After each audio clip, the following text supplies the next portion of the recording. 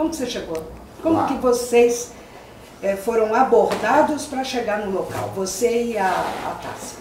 Bom, nós estávamos é, parados, fazendo ponto de parada, é, policiamento preventivo. Passou um munícipe e falou que estava acontecendo alguma coisa na joalheria.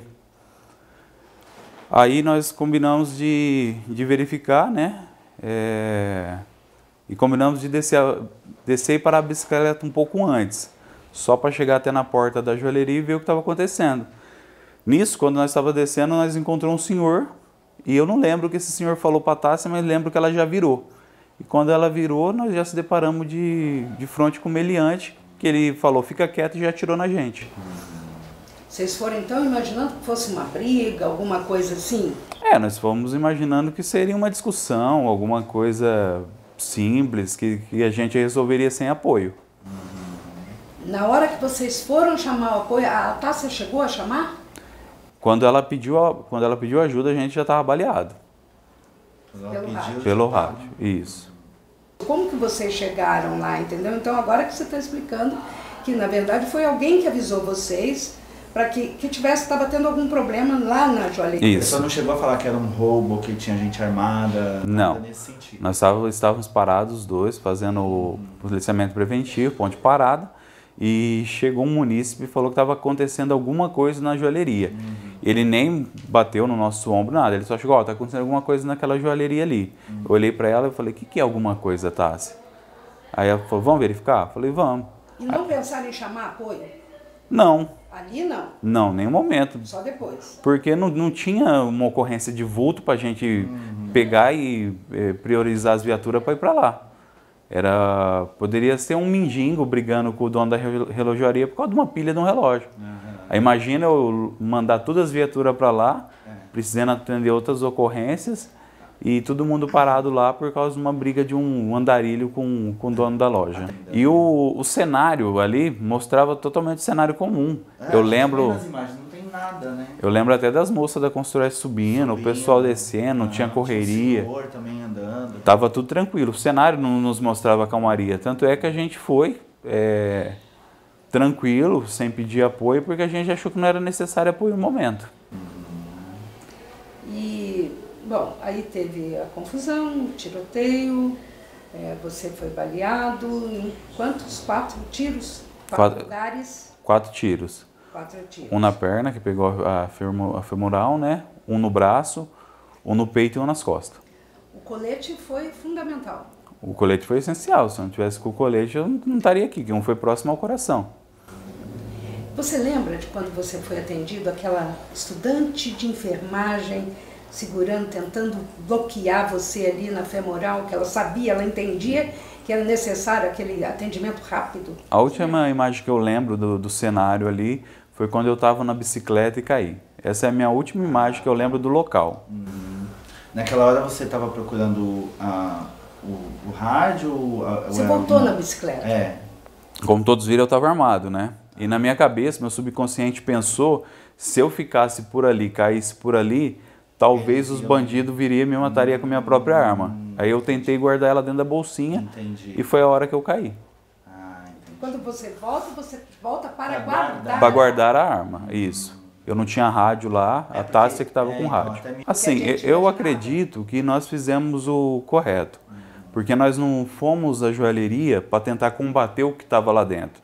Nós fomos verificar o que tinha, que tipo de ocorrência seria, para a gente pedir apoio ou não pedir apoio. Então, infelizmente, né, se deparamos depois com aquele meliante que estava fazendo a segurança e não teve como a gente combater. Se a pessoa tivesse passado informação é, que está tendo um assalto, Ah. talvez eu iria até a loja verificar realmente o que é um assalto. Porque o, às vezes o município comum ele não sabe Que é um diferencial. assalto, é um furto. Exatamente. Aham. Mas se tivesse me passado informação que tinha gente armada dentro da relojoaria, eu não teria ido. Sim.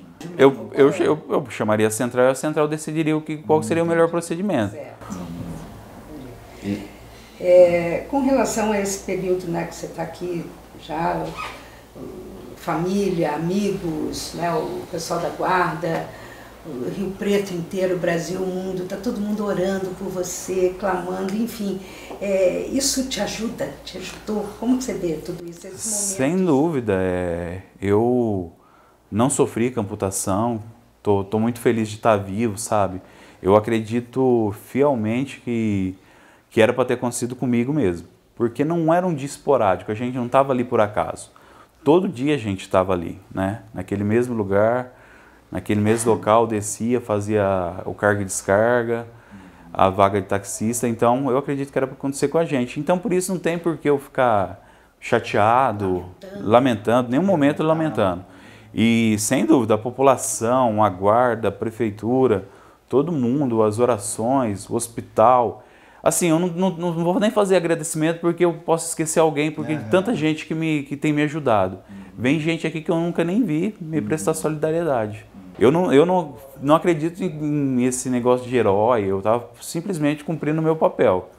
Mas só o fato de ter ajudado aquelas senhoras lá de alguma maneira, de ter feito com os bandidos saíssem da loja rapidamente, sem ter ferido mais gente, eu já fico feliz por isso. E sobre as pessoas, sem dúvida, quanto mais oração, quanto mais gente vir visitar, é melhor, a gente fica mais feliz. Ô Cleiton, eu queria que você me falasse, tem uma, é uma pergunta também que eu já recebi, apesar de entender que ainda é inoportuna ou muito uhum. cedo, mas eu vou fazer para você porque a gente está recebendo isso. E daqui para frente, você é, permanece na guarda? Como é que você vai encarar isso daqui para frente? Olha, antes da, da amputação, eu tinha certeza que eu, que eu queria voltar a atuar, porque até mesmo o médico ele me deu uma, uma perspectiva muito boa de recuperação da perna, né? Mas, sinceramente, hoje eu não sei qual vai ser o meu destino, né? Porque não, não vai depender de mim, vai depender da junta médica da prefeitura me liberar ou não. Se eles me liberassem, eu trabalharia a normalmente. Vontade, a minha vontade é trabalhar, sem dúvida, eu quero trabalhar. No primeiro momento a gente fica chocado mesmo, mas é tudo passageiro. Depois você, você recupera tudo, prótese excelente, e é, bola para frente. Eu tô com a mente tranquila. Não tem nenhum momento que eu acordo, que eu, que eu fico perguntando por que, que aconteceu comigo, por que, que foi desse jeito, o que, que eu fiz de errado. Eu acredito que era para acontecer do jeito que aconteceu.